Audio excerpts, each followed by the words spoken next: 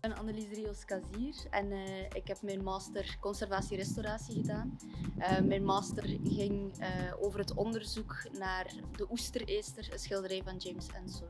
En ik heb mijn stage kunnen doen in het KMSKA, waar dat, dus dat schilderij ook aanwezig is. dus die twee zaten in connectie en dat was eigenlijk wel heel handig. Voor mijn master heb ik vooral heel veel um, kunsthistorisch onderzoek moeten doen, maar ook beeldonderzoeken zoals infraroodonderzoek, UV-onderzoek, uh, zelf macro-XRF. Uh, en dat was heel interessant, want uh, enkele van die onderzoeken had ik nog nooit gedaan, dus daar heb ik wel heel veel in bijgeleerd.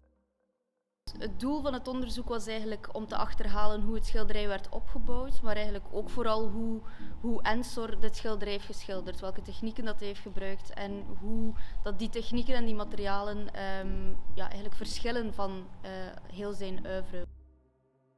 Um, dus heel interessant is, um, op het schilderij zelf heeft Ensor bijvoorbeeld op de rechteronderhoek het schilderij schetsmatig gelaten. Um, op die manier zien we dat eigenlijk niet op andere schilderijen van hem terugkomen. Dus het is echt iets waar dat hij mee experimenteert.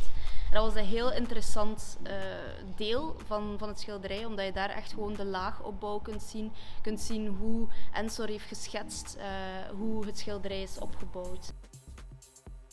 De Oesterreester is een topstuk uh, van de Vlaamse gemeenschap.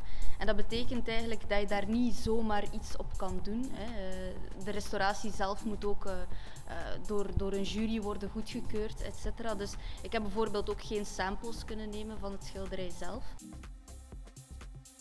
Voor mijn onderzoek heb ik redelijk wat literatuurstudie kunnen doen.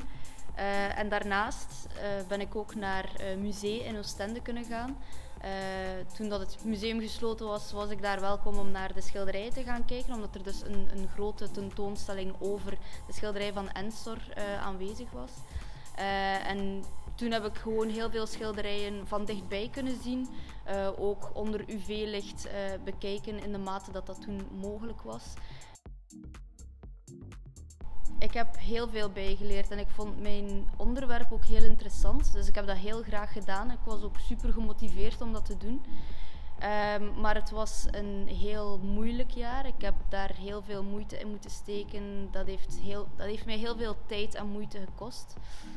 Um, maar het was het natuurlijk wel waard. Het moeilijkste was natuurlijk uh, corona, uh, de lockdown die dan kwam. We hebben bevestigd wat dat er gedacht werd. Dus dat is eigenlijk ook wel een heel mooi resultaat om, om, uh, om te verkrijgen.